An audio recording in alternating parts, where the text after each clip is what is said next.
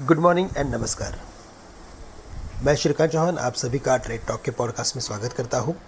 और कल के दिन में हमने इंडियन मार्केट्स में एक शानदार रैली देखी।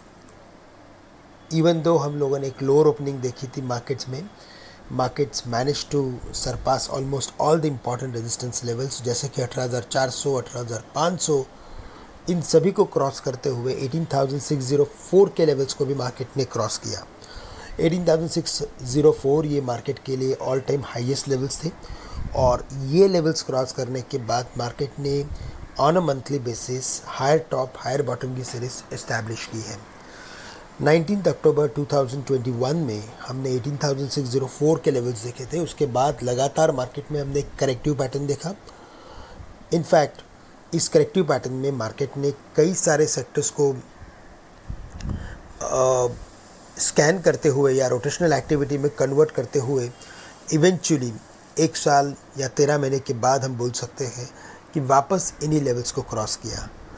इस बार के जो लीडर्स थे वो थे स्पेशली बैंक स्टॉक्स कुछ एक F M stocks auto companies P S companies इन लोगों ने हमारे मार्केट को प्रीवियस हाई के ऊपर क्रॉस करने में मदद की है।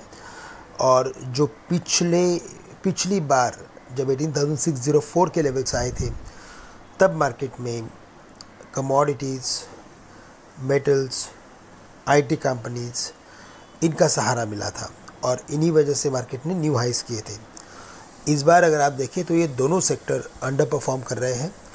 तो एक बात क्लियर थी कि 2021 में जब मार्केट बढ़ा था, तब इन्फ्लेशन सेंसिटिव या इन्फ्लेशन रिलेटेड जो सेक्टर्स होते हैं, वहाँ पे हमने बड़ी तेज़ी देखी थी।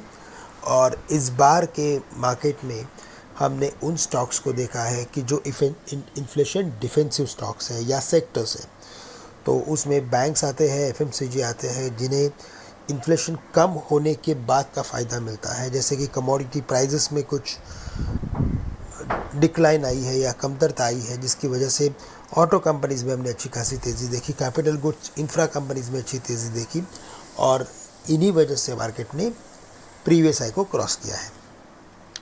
ब्रॉडर फॉर्मेशन हमें यही इंडिकेट करता है कि बाय ऑन डिप्स की स्ट्रैटेजी रखें। ऑलरेडी हम लोगों ने 18,604 के लेवल्स देखे हैं। तो अभी 18,300 से लेकर 400 के रेंज में अगर कोई भी रिवर्सल अगर पैटर्न बनता है उस रिवर्सल पैटर्न के बेसिस पे लॉन्ग पोजीशंस बनाई जा सकती है। तब तक हमें लगता है कि इस मार्केट में आप स्टॉक स्पेसिफिक व्यू रखें और फोकस में बीएफएसआई के साथ साथ कुछ आईटी कंपनीज़ को भी रखें। कैपिटल गुड्स और इंफ्रा कंपनीज़ में भी हमें लगता है कि स्टॉक स्पेसिफिक व्यू के साथ अगर आप काम करोगे तो वहाँ पे भी अच्छी खासी तेज़ी देखने मिल सकती है। इसके अलावा बैंक निफ्टी में 42,500 42,000 के करीब बढ़िया सपोर्ट है। 43,000 43,500 में एक बड़ा रेजिस्टेंस है। कुछ हमने प्रॉफिट बुकिंग देखी है बैंक स्टॉक्स में और इसी वजह से हमें लगता है कि बैंक स्टॉक्स में स्पेशली आप सिलेक्टिव व्यू रखिए। दोस्तों आज के लिए बस इतना ही। आप सभी से मैं आज के लिए विदा लेता हूँ और आप सभी के लिए आज का दिन मंगलमय रहे। धन्यवाद।